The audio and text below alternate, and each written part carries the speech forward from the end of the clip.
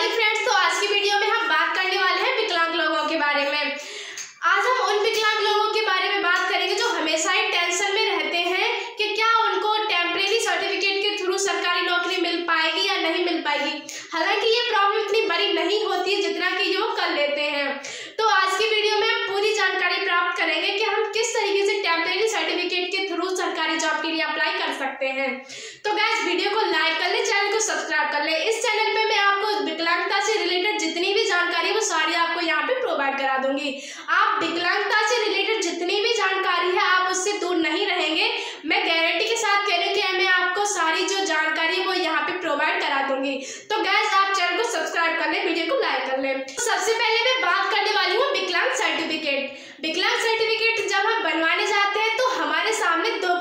आती है। एक कंडीशन होती है, क्या हम उसको ऑफलाइन बनवाएँ? दूसरी होती है, क्या ऑनलाइन बनवाएँ?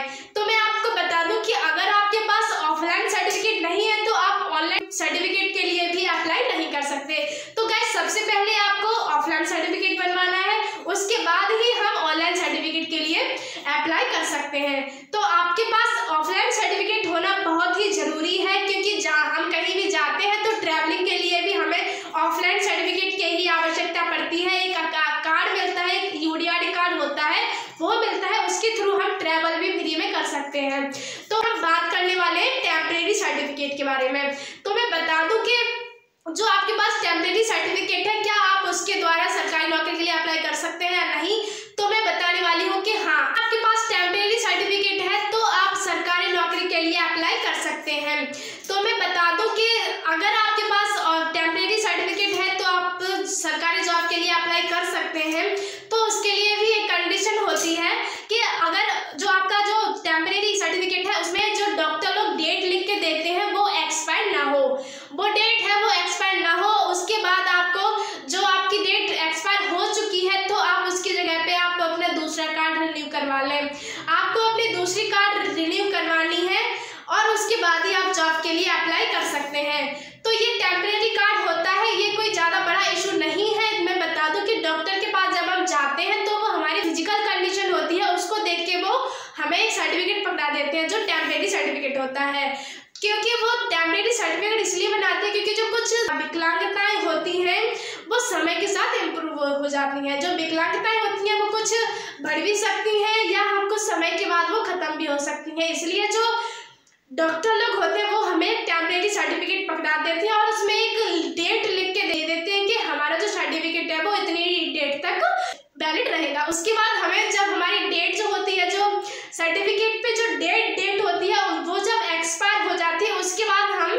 से उसको रिन्यू करा सकते हैं। तो यही जानकारी थी, मैं आपको देने वाली हूँ। तो देखिए, अगर आपकी जो डेट है वो एक्सपायर नहीं होनी चाहिए, जैसे कि मतलब मैं बता दूँ कि आपने सन 2023 में सर्टिफिकेट बनवाया है। और जो सर्टिफिकेट का जो डेट है वो सन 2023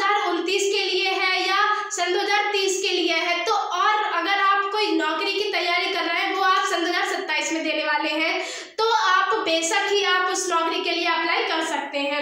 अगर आपका जो सर्टिफिकेट होता है, वो बीच में भी जैसे कि हमने सन दो हज़ार सत्ताईस के लिए जॉब के लिए अप्लाई किया तो और हमारा जो सर्टिफिकेट है, वो सन दो हज़ार चौबीस में ही उसकी डेट है, वो एक्सपायर हो गई। तो आप अपनी जो डेट है उसको रिन्यू करवा सकते हैं आप अपने सर्टिफिकेट को रिन्यू करवाने के बाद आप उस जॉब के लिए अप्लाई कर सकते हैं ऐसा कोई इतना बड़ा इशू नहीं है कि अगर आपके पास टेम्परेरी सर्टिफिकेट है तो आपको जॉब नहीं मिलेगी तो मैं बता दूँ कि अगर आपके पास टेम्परेरी सर्टिफिकेट है तो आप जॉब के लिए अप्लाई कर सकते हैं। तो दोस्तों मैंने यहाँ पे आपको बता दिया है कि अगर आपके पास टेम्परेरी सर्टिफिकेट है तो आप जॉब के लिए अप्लाई कर सकते हैं। लेकिन कंडीशन एक ही होती है कि आपका जो सर्टिफिकेट है वो दो तीन साल के लिए वैलिड होना चाहिए। अगर आप सरकारी नौकरी के लिए अप्लाई कर सकते हैं तो उससे एक दो साल एक्स्ट्रा आपका जो सर्टिफिकेट होता है उस, उसकी जो डेट होती है वो एक दो साल एक्स्ट्रा होनी चाहिए। यही एक कंडीशन है। अगर आपके सर्टिफिकेट में एक दो साल एक्स्ट्रा नहीं होगी तो